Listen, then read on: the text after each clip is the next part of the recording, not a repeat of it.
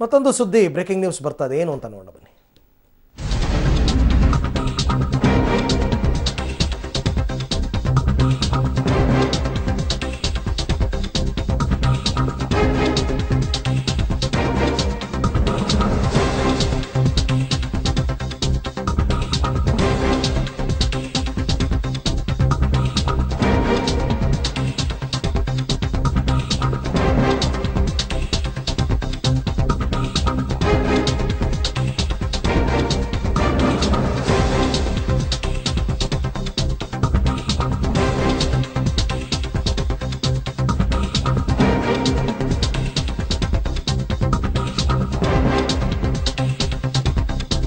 ರಾಹುಲ್ ಗಾಂಧಿಗೆ big relief ಸಿಕ್ಕಿದೆ. ಅವರ ನಾಮಪತ್ರವನ್ನ ಮಾನ್ಯ ಮಾಡಿದ್ದಾರೆ ಚುನಾವಣಾಧಿಕಾರಿ. ಪೌರತ್ವದ ವಿಚಾರಕ್ಕೆ ಸಂಬಂಧಪಟ್ಟಂತೆ ಒಂದು ದೂರು ದಾಖಲಾಗಿತ್ತು. ರಾಹುಲ್ ಗಾಂಧಿ ಅವರು ಬ್ರಿಟನ್ ಪೌರತ್ವವನ್ನು ಹೊಂದಿದ್ದಾರೆ. ಅಂಥವರು ಭಾರತದಲ್ಲಿ ಚುನಾವಣೆಗೆ ಸ್ಪರ್ಧೆ ಮಾಡೋದಕ್ಕೆ ಬರೋದಿಲ್ಲ ಅಂತಂದ್ಬಿಟ್ಟು ಆದರೆ ಈಗ ರಾಹುಲ್ ಗಾಂಧಿ ಅವರ ನಾಮಪತ್ರವನ್ನು ಮಾನ್ಯ ಮಾಡಿದ್ದಾರೆ ಚುನಾವಣಾಧಿಕಾರಿ.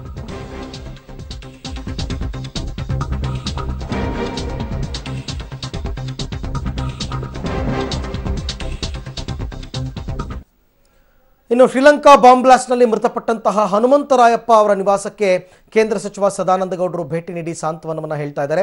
ಜೊತೆಗೆ ಕೇಂದ್ರ ಸರ್ಕಾರದಿಂದ ಅಗತ್ಯ ಬೆಂಬಲ ಅಥವಾ ಅಗತ್ಯ ಸಹಕಾರವನ್ನು ನೀಡ್ತಕ್ಕಂಥದ್ದನ್ನು ಕೂಡ ಸಹಾಯಸ್ತವನ್ನು ಕೊಡ್ತೀವಿ ಅಂತಕ್ಕಂಥದ್ರ ಬಗ್ಗೆ ಕೂಡ ಸದಾನಂದ ಗೌಡರು ಮಾತನಾಡಿದ್ದಾರೆ ಹನುಮಂತರಾಯಪ್ಪನವರು ನಿನ್ನೆ ನಡೆದಂತಹ ಬಾಂಬ್ ಬ್ಲಾಸ್ಟ್ನಲ್ಲಿ ಒಟ್ಟು ಏಳು ಜನರ ಒಂದು ತಂಡ ನೆಲಮಂಗಲದ ಸುತ್ತಮುತ್ತ ಭಾಗದಿಂದ ಪ್ರವಾಸಕ್ಕೆ ಅಂತ ಹೋಗಿತ್ತು. ಈ ಸಂದರ್ಭದಲ್ಲಿ ಹನುಮಂತರಾಯಪ್ಪನವರು ಮೃತಪಟ್ಟಿದ್ದರು ದಾಸರಹಳ್ಳಿ ಎಂಟನೇ ಮೈಲಿಯಲ್ಲಿ ಅವರು ವಾಸ ವಾಸವನ್ನು ಮಾಡ್ತಾ ಇದ್ರು. ಗುತ್ತಿಗೆದಾರರಾಗಿದ್ದರು ಸೊ ಹನುಮಂತರಾಯಪ್ಪನವರು ಮತ್ತು ಮಾತೃಶ್ರೀ ಡೆವಲಪರ್ಸ್ನ ಓನರ್ ಕೂಡ ಹೌದು. ಅವರ ನಿವಾಸಕ್ಕೆ ಈಗ ಕೇಂದ್ರ ಸಚಿವ ಸದಾನಂದ ಗೌಡ ಆ, ಮಾಜಿ ಸಚಿವ ಮಾಜಿ ಶಾಸಕ ಮುನಿರಾಜು ಇವರೆಲ್ಲರೂ ಕೂಡ ಭೇಟಿ ಕೊಟ್ಟು ಮುಂದೆ ಏನು ಮಾಡಬೇಕು, ಏನು ಕ್ರಮವನ್ನು ತಗೊಳ್ಬೇಕು, ಆ ಮೃತ ಪಾರ್ಥಿವ ಶರೀರವನ್ನು ಅಲ್ಲಿಂದ ಇಲ್ಲಿಗೆ ತರೋದು ಹೇಗೆ, ಇದೆಲ್ಲದರ ಬಗ್ಗೆ ಮಾತುಕತೆಯನ್ನು ನಡೆಸಿದ್ದಾರೆ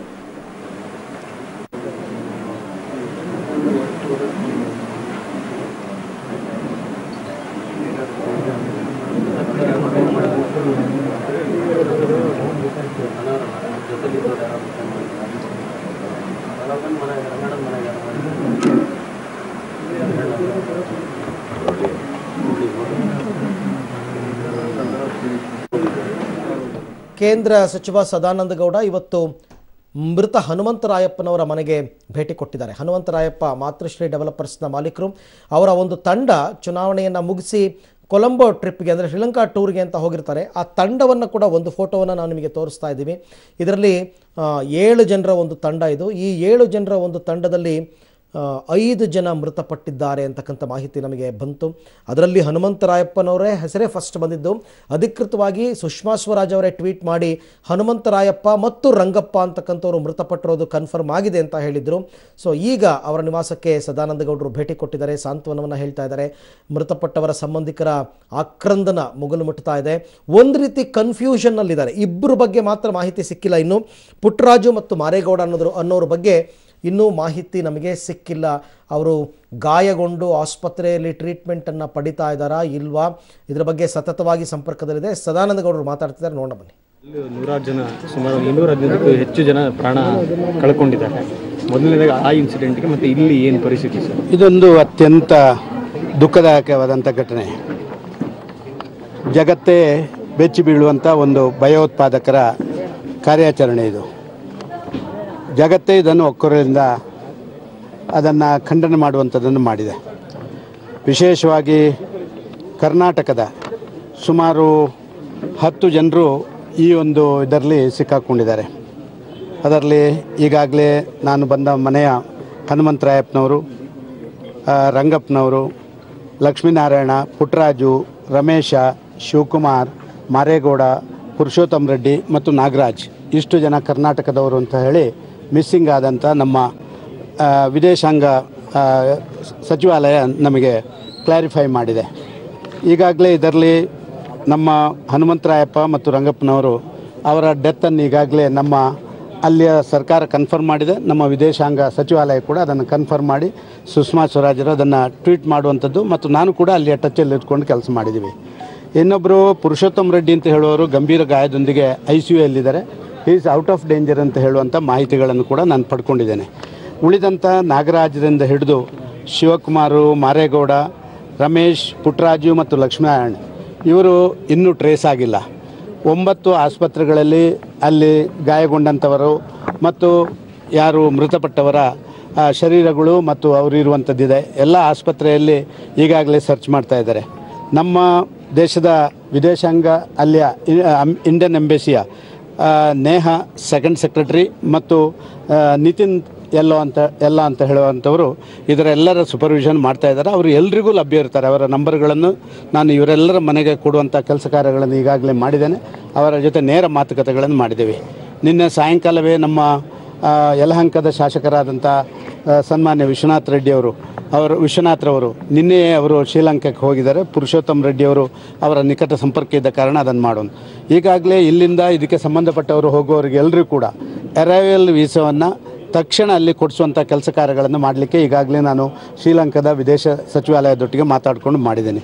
ಒಂದು ಗಂಟೆಯ ಒಳಗೆ ಇವತ್ತು ಉಳಿದ ಜನರ ಟ್ರೇಸ್ ಮಾಡುವಂಥದ್ದು ಅಥವಾ ಯಾವುದಾದ್ರು ಡೆತ್ ಆಗಿದ್ದರೆ ಡೆಡ್ ಬಾಡಿಗಳನ್ನು ಐಡೆಂಟಿಫೈ ಮಾಡುವಂಥ ಕೆಲಸ ಕಾರ್ಯಗಳನ್ನು ಮುಗಿಸ್ತೇವೆ ಅಂತ ಹೇಳುವಂಥ ಕೆಲಸ ಕ ವಿಚಾರವನ್ನು ನಮ್ಮ ಇಂಡಿಯನ್ ಎಂಬೆಸಿಯ ಎರಡು ಅಧಿಕಾರಿಗಳು ಈಗಾಗಲೇ ನನಗೆ ತಿಳಿಸಿದ್ದಾರೆ. ಪ್ರತಿ ಒಂದು ಗಂಟೆಗೆ ಒಮ್ಮೆ ನಾನು ಅವರ ಜೊತೆ ಇವತ್ತು ಬೆಳಿಗ್ಗೆಯಿಂದ ನಿಕಟ ಸಂಪರ್ಕದಲ್ಲಿದ್ದೀನಿ. ನಿನ್ನೆ ರಾತ್ರಿ ತುಂಬ ತಡವಾದ ಕಾರಣ ಹಲವಾರು ವಿಚಾರಗಳನ್ನು ತಿಳ್ಕೊಳ್ಳೋಕ್ಕಾಗಲಿಲ್ಲ. ಇವತ್ತು ಮೃತರ ವಿಚಾರಗಳು ಅದು ರಂಗಪ್ಪ ಮತ್ತು ಹನುಮಂತರಾಯಪ್ಪರ ವಿಚಾರವಾಗಿ ಈಗಾಗಲೇ ಎಲ್ಲವೂ ಕೂಡ ಕನ್ಫರ್ಮ್ ಆಗಿದೆ. ಉಳಿದ ವಿಚಾರಗಳನ್ನು ನಾವು ಒಂದು ಗಂಟೆ ಒಂದೂವರೆ ಗಂಟೆ ಒಳಗೆ ಸರ್ಕ್ಯುಲೇಟ್ ಆಗುತ್ತೆ? ನ್ಯೂಸ್ ಶೇರ್ ಟ್ರಾವೆಲ್ ವೀಸಾ ಕೊಡಿಸುವಂಥದ್ದು ಇರ್ಬೋದು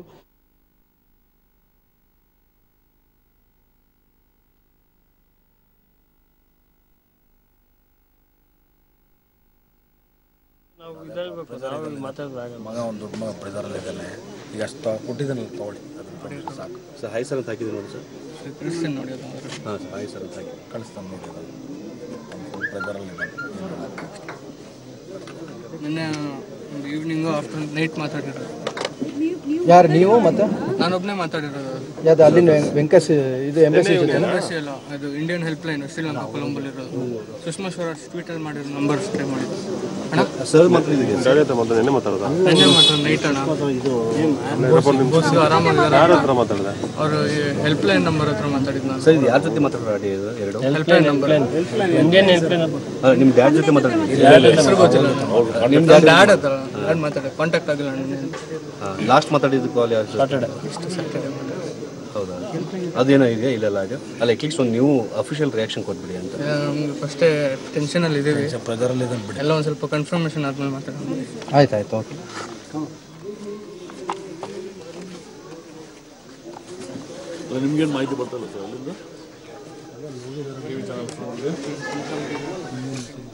ಓಕೆ ಮತ್ತೋರ್ವ ವ್ಯಕ್ತಿ ಕೊಲಂಬೋ ಬಾಂಬ್ ಬ್ಲಾಸ್ಟ್ನಲ್ಲಿ ಮೃತಪಟ್ಟವರು ರಂಗಪ್ಪ. ರಂಗಪ್ಪನವರ ಪುತ್ರ ಇವಾಗ ಮಾತನಾಡ್ತಾ ಇದ್ರು. ನಿನ್ನೆ ರಾತ್ರಿ ನಾನು ಹೆಲ್ಪ್ಲೈನ್ ಕರ್ನಾ, ಇಂಡಿಯಾದ ಹೆಲ್ಪ್ಲೈನ್ ನಂಬರ್ ಏನಿತ್ತು ಅಲ್ಲಿಗೆ ಕರೆ ಮಾಡಿದ್ದೆ. ಅಲ್ಲಿ ನನಗೆ ಕನ್ಫರ್ಮ್ ಆಯಿತು. ಜೊತೆಗೆ ಇವತ್ತು ಬೆಳಿಗ್ಗೆ ಸುಷ್ಮಾ ಸ್ವರಾಜ್ ಕೂಡ ಅವ್ರ ಹೆಸರನ್ನು. ಓಕೆ, ಇನ್ನು ಹನುಮಂತರಾಯಪ್ಪನವರ ನಿವಾಸದಲ್ಲಿ ಡಿ ವಿ ಸದಾನಂದ ಗೌಡರು ಮಾತನಾಡ್ತಿದ್ದಾರೆ. ನೋಡೋಣ ಬನ್ನಿ. ಇಲ್ಲಿ, ಅಲ್ಲಿ, ಅಲ್ಲಿಯ ಸರ್ಕಾರ ಅಫಿಷಿಯಲ್ ಕನ್ಫರ್ಮ್ ಮಾಡದೆ ನಮಗೆ ಏನು ಹೇಳುವಂಗಿಲ್ಲ.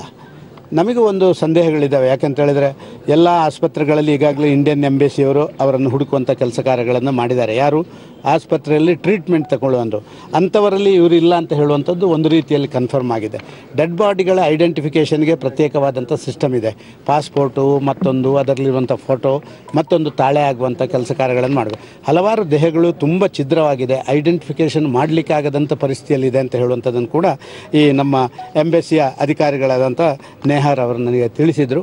ಎನಿಹೌ ಒಂದು ಗಂಟೆ ಒಳಗೆ ನಾವು ಇದನ್ನು ಪ್ರಕ್ರಿಯೆಯನ್ನು ಪೂರ್ತಿಗೊಳಿಸಿದ್ದೇವೆ ಒಟ್ಟಾರೆ ಇಂಡಿಯಾದವ್ರಿಗೆ ಎಷ್ಟು ಜನ ಅಲ್ಲಿ ಇಂಜುರಿ ಆಗಿದೆ ಅಲ್ಲ ಇಂಜುರಿ ಅಂತಲ್ಲ. ಒಟ್ಟು ಈ ಘಟನೆಯಲ್ಲಿ ಈ ಘಟನೆಯಲ್ಲಿ ನಮಗೆ ಲಭ್ಯ ಇರುವಂಥ ಮಾಹಿತಿಗಳ ಪ್ರಕಾರ ಒಟ್ಟು ಒಂಬತ್ತು ಜನ ಈಗಾಗಲೇ ಅಲ್ಲಿ ನಮಗೆ ಲಭ್ಯ ಇರುವಂಥ ಮಾಹಿತಿಯಲ್ಲಿ ಇದ್ದಾರೆ. ಏಳು ಜನದ ಒಂದು ತಂಡ ಎರಡು ಜನದ ಒಂದು ತಂಡ. ಕರ್ನಾಟಕದ ಕರ್ನಾಟಕ. ಇದರ ಬಗ್ಗೆ ನನಗೇನು ಮಾಹಿತಿಗಳಿಲ್ಲ. ನಾನೊಬ್ಬ ಕೇಂದ್ರದ ಮಂತ್ರಿಯಾಗಿ ನಾನು ಏನು ನನ್ನ ಕೇಂದ್ರದ ಎಕ್ಸ್ಟರ್ನಲ್ ಅಫೇರ್ಸ್ ಮಿನಿಸ್ಟ್ರಿಯಿಂದ ಏನೆಲ್ಲ ಸಹಕಾರಗಳನ್ನು ಮಾಡ್ಬೋದಾ ಅದನ್ನು ನಿನ್ನೆ ಇದು ಗೊತ್ತಾದ ತಕ್ಷಣ ಆ ಕೆಲಸ ಕಾರ್ಯಗಳನ್ನು ಮಾಡುವಂಥದ್ದನ್ನು ನಾವು ಮಾಡ್ತಾ ಇದ್ದೀವಿ.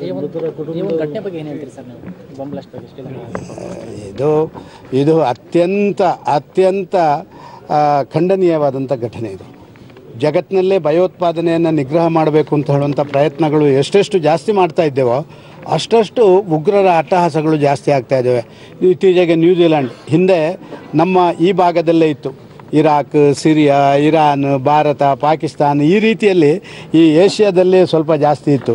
ಆದರೆ ಇದೀಗ ನ್ಯೂಜಿಲ್ಯಾಂಡು ಕೂಡ ವಿಸ್ತಾರ ಅದನ್ನು ನೀವು ಕಂಡಿದ್ದೀರಿ. ನಿನ್ನೆ ನಡೆದಂಥ ಘಟನೆ ಅದು ಕೂಡ ಚರ್ಚ್ಗಳಲ್ಲಿ ಮೂರು ಚರ್ಚ್ಗಳಲ್ಲಿ ಈಸ್ಟರ್ನ ಸಂದರ್ಭದಲ್ಲಿ ಆಗಬೇಕು ಅಂತ ಹೇಳುವಂಥದ್ದಿದ್ರೆ ಇದರ ಹಿನ್ನೆಲೆ ಏನಾದ್ರು ಇರಬಹುದು ಅಂತ ಹೇಳುವಂಥದ್ದು ನನ್ನ ಅನಿಸಿಕೆ. ಧನ್ಯವಾದ. ಮೃತರ ಕುಟುಂಬದವ್ರನ್ನ ಮಾತಾಡಿಸ್ಕೊಂಡು ಬಂದೆ. ನಿಜ ಅತ್ಯಂತ ಮನನೋಯುವಂಥ ಮನನೊಯ್ಯುವಂಥ ಒಂದು ಘಟನೆ ಅಂತ ನಾನು ಭಾವಿಸ್ತಾ ಇದ್ದೆ okay sir thank you sir ಕೇಂದ್ರ ಸಚಿವ ಸದಾನಂದ ಗೌಡರು ಹನುಮಂತರಾಯಪ್ಪನವರ ನಿವಾಸಕ್ಕೆ ಭೇಟಿ ಕೊಟ್ಟಿದ್ದರು ಕೇಂದ್ರ ಸಚಿವರು ಆಗಿರೋದ್ರಿಂದ ವಿದೇಶಾಂಗ ಇಲಾಖೆಯ ಜೊತೆ ಸತತ ಸಂಪರ್ಕ ಒಳ್ಳೆ ನೆಟ್ವರ್ಕ್ ಇರುತ್ತೆ ಅವರಿಗೆ.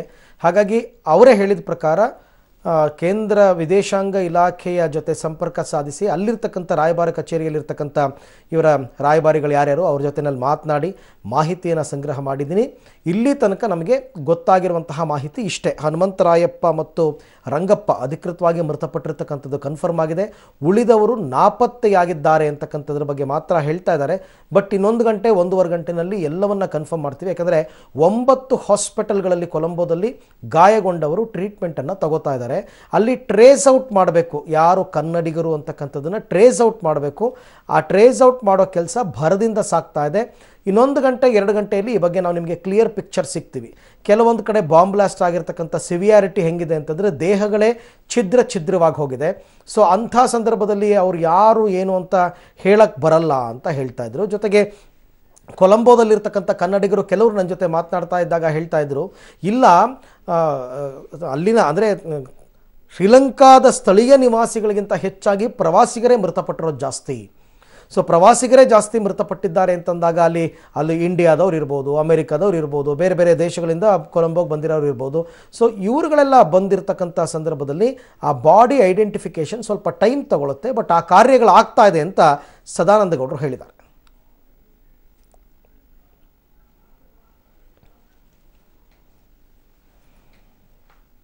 ಓಕೆ ಇನ್ನು ತುಮಕೂರು